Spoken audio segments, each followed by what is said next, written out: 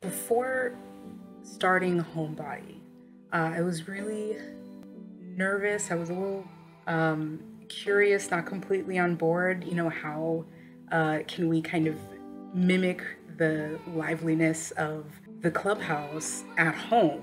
You know, and why would I join an online gym program? To, to me, that didn't make sense because, you know, a gym is a place.